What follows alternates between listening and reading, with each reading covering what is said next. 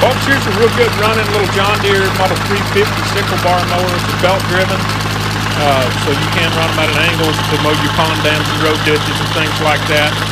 Uh, seven foot cut, decent sections and guards on it. We're going to have this one for sale right here. If you guys have any questions, just give one of us a call.